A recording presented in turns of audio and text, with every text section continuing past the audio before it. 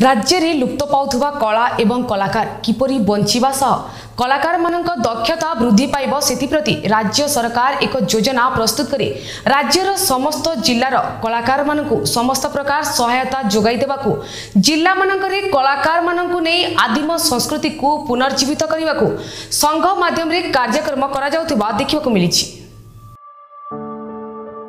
ରାଜ୍ୟରେ ଲୁପ୍ତ ପାଉଥିବା କଳା ଏବଂ କଳାକାର କିପରି ବଞ୍ଚିବା ସହିତ କଳାକାରଙ୍କ ଦକ୍ଷତା ବୃଦ୍ଧି ପାଇବ ସେଥିପାଇଁ ରାଜ୍ୟ ସରକାର ଏକ ଯୋଜନା ପ୍ରସ୍ତୁତ କରି ରାଜ୍ୟର ସମସ୍ତ ଜିଲ୍ଲାର କଳାକାରଙ୍କୁ ସମସ୍ତ ପ୍ରକାରର ସହାୟତା ଯୋଗାଇ ଦେବାକୁ ଜିଲ୍ଲାମାନଙ୍କରେ କଳାକାରମାନଙ୍କୁ ନେଇ ଆଦିମ ସଂସ୍କୃତିକୁ ପୁନର୍ଜୀବିତ କରିବାକୁ ସଂଘ ମାଧ୍ୟମରେ କାର୍ଯ୍ୟକ୍ରମ କରାଯାଇଥିବା ବେଳେ କୋରାପୁଟ ଜିଲ୍ଲା କଳା ସଂଘ ବ୍ଲକ କଳା ସଂଘ এবং নগর কলা সংঘ গঠন সহিত কিপরি ভাবে অধিকরু অধিক কলাকার সংঘরে পঞ্জীকৃত করা যাইপারিব এহাকু নেই আজি কোরাপুট সিডিএমও সভাগৃহঠারে জেলার চৌদ ব্লক লোক কলাকার এক সমীক্ষা বৈঠক অনুষ্ঠিত হয়ে যাই ଆଜିର ଏହି ବୈଠକରେ ଓଡ଼ିଆ ଭାଷା ସାହିତ୍ୟ ସଂସ୍କୃତି ବିଭାଗର ନିର୍ଦ୍ଦେଶକ ରଞ୍ଜନ ଦାସ ମୁଖ୍ୟ ଅତିଥି ଭାବରେ ଯୋଗ ଦେଇଥିବା ବେଳେ ସମ୍ମାନିତ ଅତିଥି ଭାବରେ ରାଜ୍ୟ ଓଡ଼ିଆ ଭାଷା ସାହିତ୍ୟ ସଂସ୍କୃତି ବିଭାଗର ପ୍ରକଳ୍ପ ସଂଯୋଜକ ବାସୁଦେବ ମାଳବିଷୋଇ ରାଜ୍ୟ କଳା ସାଂସ୍କୃତିକ ସଂଘର ଉପସଭାପତି ଅବନୀ ମିଶ୍ର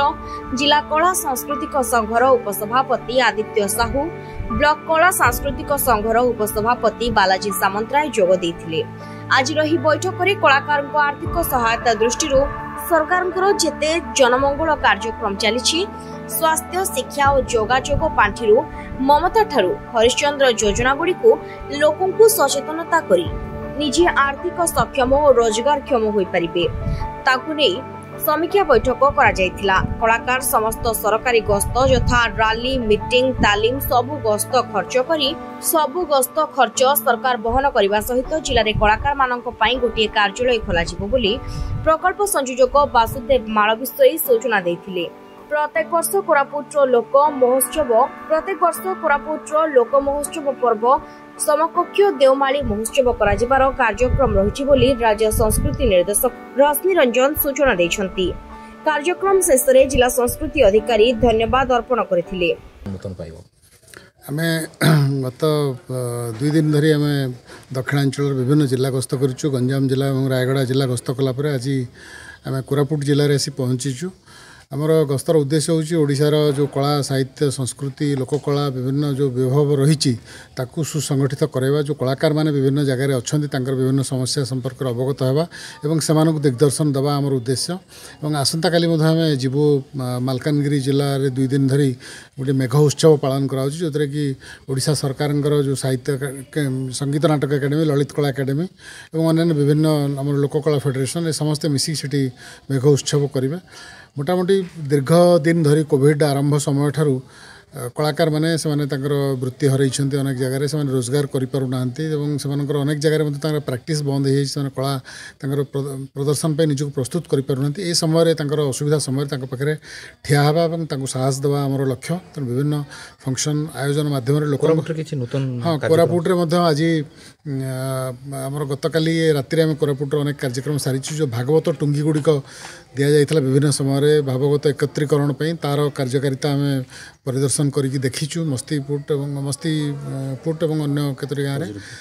ତା ଛଡ଼ା ଯେଉଁ ଲୋକକଳା ଗ୍ରାମ ଅଛି ଖଜୁରୀପୁଟରେ ତାକୁ ମଧ୍ୟ ଆମେ ଯାଇଥିଲୁ। ସେଠି ସେ ଗାଁକୁ କେମିତି ଆହୁରି ସମୃଦ୍ଧ କରାଯାଇପାରିବ ସେ ବିଷୟରେ ମଧ୍ୟ ଆମେ ଯୋଜନା କରିଛୁ। ଆଜି ମଧ୍ୟ ଏ ଜିଲ୍ଲାର ଯେତେ କଳାକାରମାନେ ଅଛନ୍ତି ତାଙ୍କ ସହିତ ଏଠି ଆଲୋଚନା ଚାଲିଛି। ଆଲୋଚନା ସରିଲା ପରେ ଆମେ ସ୍ୱର୍ଗତ ଗୋପୀନାଥ ମହାନ୍ତି ଯେ ଆମର ଜ୍ଞାନପୀଠ ପୁରସ୍କାର ପାଇଥିଲେ ପ୍ରଥମ ଓଡ଼ିଆ ସେ ଏଠି ଉପଜିଲ୍ଲାପାଳ ଥିଲାବେଳେ ଯେଉଁ ଘରଟିରେ ରହୁଥିଲେ ତାକୁ ଗୋଟେ ସ୍ମାରକୀ ରୂପେ ପରିଣତ କରିବା ପାଇଁ ବିଭାଗ ତରଫରୁ ଆମେ ସଂକଳ୍ପ ନେଇଥିଲୁ ଏବଂ ସେଥିପାଇଁ ଜିଲ୍ଲା ପ୍ରଶାସନ ସହିତ ଏବଂ ଟେଲିକମ୍ ଅଥରିଟି ଯେଉଁମାନଙ୍କର କବ୍ଜାରେ ବର୍ତ୍ତମାନ ସେ ଘରଟି ଅଛି ତାକୁ ଆମେ ପରିଦର୍ଶନ କରିବାକୁ ଯିବୁ ଏବଂ ସେଠି କ'ଣ ସମାଧାନର ବାଟ ବାହାରି ପାରିବ ଆମେ ଟେଲିକମ୍ ଉତ୍ସବର ଯୋଜନା କରିଛନ୍ତି ଉତ୍ସବର ଯୋଜନା ଆମେ କରୁଛୁ ସେ ସଂକ୍ରାନ୍ତରେ ଜିଲ୍ଲାର ପ୍ରତ୍ୟକ୍ଷ ସହଯୋଗ ଦରକାର ଜିଲ୍ଲାପାଳଙ୍କ ପାଖରୁ ଆମେ ଅନୁରୋଧ ପାଇଲେ ଏବଂ କଳାକାରମାନଙ୍କ ଦାବି ପାଇଲା ପରେ ଆମେ ଦେଓମାଳି ଉତ୍ସବ କରିବା ପାଇଁ ଆମେ ପ୍ରସ୍ତୁତ ଅଛୁ ଦେଓମାଳି ନାଁରେ ଏଠି ଦୁଇ ଦିନିଆ ଲୋକକଳା ମହୋତ୍ସବ କରିବା ପାଇଁ ଆମେ ପ୍ରସ୍ତୁତ ଅଛୁ କିନ୍ତୁ ସେଥିପାଇଁ ଜିଲ୍ଲା ପ୍ରଶାସନ ତାଙ୍କର ଉତ୍ସାହ ଆଗ୍ରହ ଏବଂ ତାଙ୍କର ସହଯୋଗିତା ଆମକୁ ଜଣାଇଲେ ଆମେ ତା ବିଷୟରେ ପଦକ୍ଷେପ ନେବୁ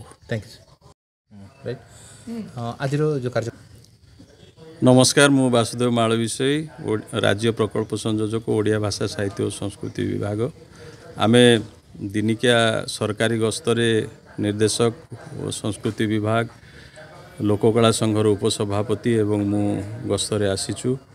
ଗତକାଲି ଆସିବା ସମୟରେ ବାଟରେ ଆମେ ଆମର ଲୋକକଳା ଗ୍ରାମ ଖଜୁରୀପୁଟ ପରିଦର୍ଶନ କଲୁ ଏବଂ ଭାଗବତ ଟୁଙ୍ଗି ମସ୍ତିପୁଟରେ ପରିଦର୍ଶନ କଲୁ ରାତି ଦଶଟା ଭି- ପର୍ଯ୍ୟନ୍ତ ଲୋକମାନେ ବହୁତ ସୁନ୍ଦର ଭାବରେ ସେଇଠି ଅପେକ୍ଷା କରିକିରି ଥିଲେ।